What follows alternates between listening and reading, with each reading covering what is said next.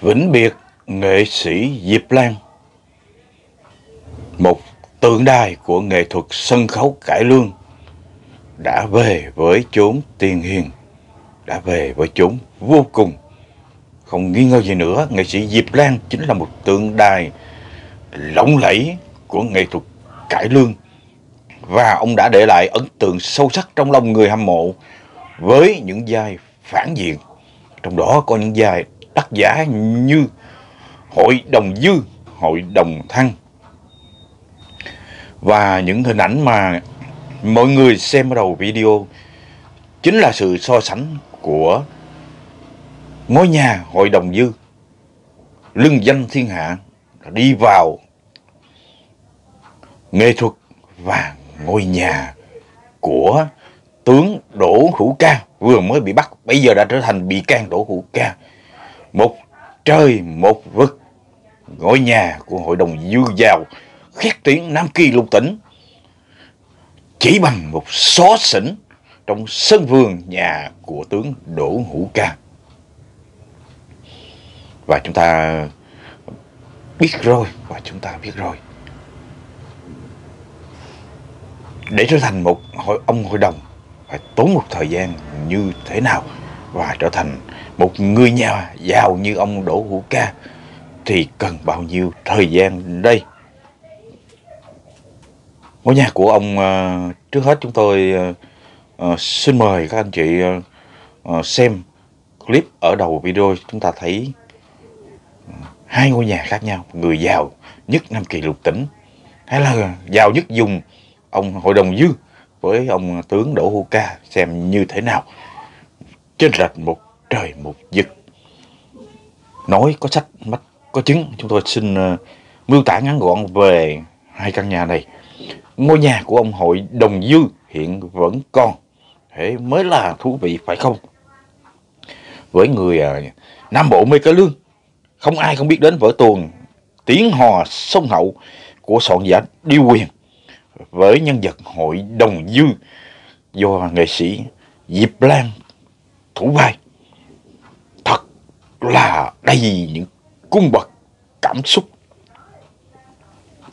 Và ngôi nhà của ông hội đồng dư giàu khét tiếng Nam Kỳ lục tỉnh hiện nay vẫn còn ở tại Sóc Trăng. Và theo đại tá Đỗ Tắc Hùng phó hiệu trưởng trường quân sự quân khu 9 ngôi nhà của ông hội đồng dư hiện vẫn còn nguyên hình dáng kiến trúc tọa lạc ngay trong khuôn viên trường quân sự quân khu 9 phường 10 thành phố Sóc Trăng, tỉnh Sóc Trăng. Tuổi đời của căn nhà này đã trên 100 năm ngôi nhà này được xây dựng trên diện tích đất khoảng hơn 100 mét vuông kiên cố theo phong cách biệt thự của người Pháp với quy mô một trệt một lầu với nhiều phòng nhỏ cùng nhà kho, khu nhà bếp và sân thượng. Từ ngoài nhìn vào, nhà vẫn còn các bậc tam cấp lên xuống với hàng gạch đỏ ao đã bị mòn vẹt theo năm tháng. Các máy vòm ở cửa hay vào hay trên tường của từng căn phòng vẫn còn nguyên. Cầu thang dẫn lên tầng trên, uốn lượn trong rất mềm mại. Cùng hàng chục bậc thang vẫn còn nguyên. Còn có một cây nhãn, một cây đào, một cây me tây, hai cây sứ trắng và một cái giếng cổ vẫn còn nguyên. Và chúng ta thấy rằng à, ngôi nhà này, ngôi nhà của người được mệnh danh là giàu nhất năm kỳ lục tỉnh hay là giàu nhất vùng đó đi, cũng thua cả một xó xỉnh của nhà ông tướng Đỗ Hữu Ca. Nhà ông tướng Đỗ Hữu Ca như chúng tôi đã mô tả và trình chiếu cho mọi người thấy trong một video gần đây. Nó lộng lẫy đến mức khiếp sợ. Đầy những kỳ hoa dị thảo. Thí dụ như một tảng đá màu trắng và theo tương truyền trị giá hàng chục tỷ đồng và có tính trấn ngự, tính phong thủy rất tốt cho người tập võ luyện thuyền và cần tịnh tâm hệt như tảng đá trong tiểu thuyết Thần Điêu Đại Hiệp, nơi mà Tiểu Long Nữ và Dương Quả luyện Ngọc Nữ tâm kinh làm say mê hàng triệu độc giả. Mùa nắng, khi trời nắng nóng thì đã lạnh, đã toát ra hơi lạnh và khi trời lạnh thì đã tót ra hơi nóng ấm. Chưa hết còn có một cặp chó đá. Chó đá, đá đây là đá bằng gỗ đã quá thạch đá gỗ đá thạch có thể biến thiên màu sắc để thể hiện hung cát của gia chủ. Và nếu chúng ta đã xem phim hoặc xem truyện 20.000 dặm dưới đáy biển, chúng ta thấy rằng thuyền trưởng Nemo à, đã dẫn à, người du lịch đến xem một con trai khổng lồ. Con trai khổng lồ, độc nhất vô nhị trên thế giới dưới đáy biển sâu. Thì trong gia vương ông Đỗ Hữu Ca cũng có một cái vỏ trai bằng cả chiếc giường theo kích cỡ hiện đại như hiện nay. Chắc là con trai lớn nhất thế giới rồi cái vỏ trai lớn nhất thế giới rồi. Thật là khủng khiếp.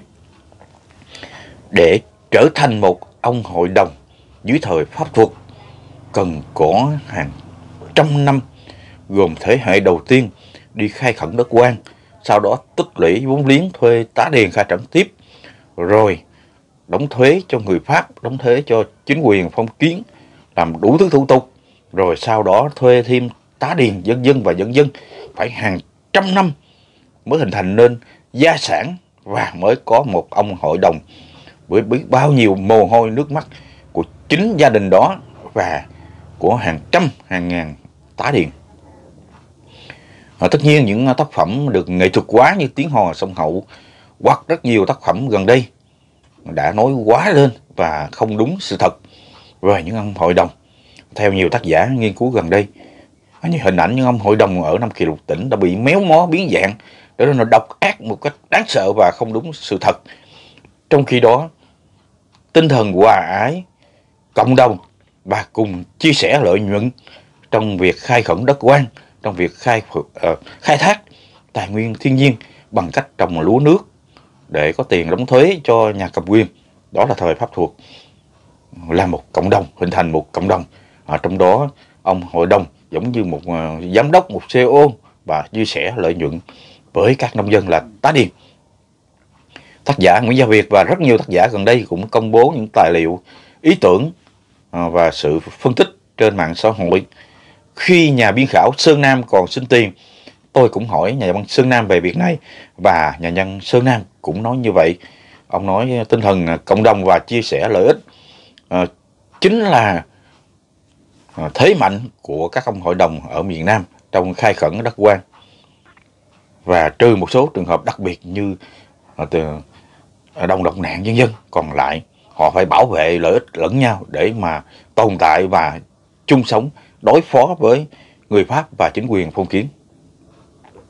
Như vậy có khoảng hàng trăm năm và cả một cộng đồng hợp tác như thế mới có ông một hội đồng và có một gia sản kha khá như thế, như chúng ta vừa thấy ngôi nhà của ông hội đồng dư còn ông đỗ hữu ca với biệt phủ khủng khiếp như thế, mất bao nhiêu thời gian ông làm giám đốc công an nhiệm kỳ 26 tháng 7 năm 2011 cho đến 2 tháng 1 năm 2019 tức là 7 năm 160 ngày.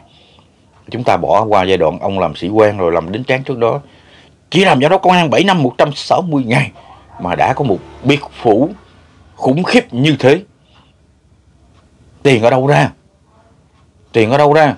Và cơ quan của bộ công an, cơ quan công an tỉnh quảng ninh đã làm rõ, đó là tiền tham nhũng tiêu cực. Chỉ một phi vụ chạy án thôi mà ông Đỗ Hữu Ca đã bỏ túi 35 tỷ đồng nếu trót lọt, nếu trót lọt.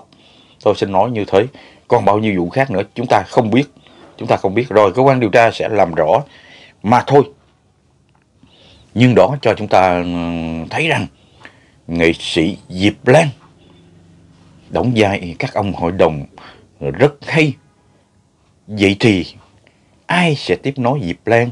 Ai sẽ đóng vai những người như Đỗ Hữu Ca đây. Xin cảm ơn.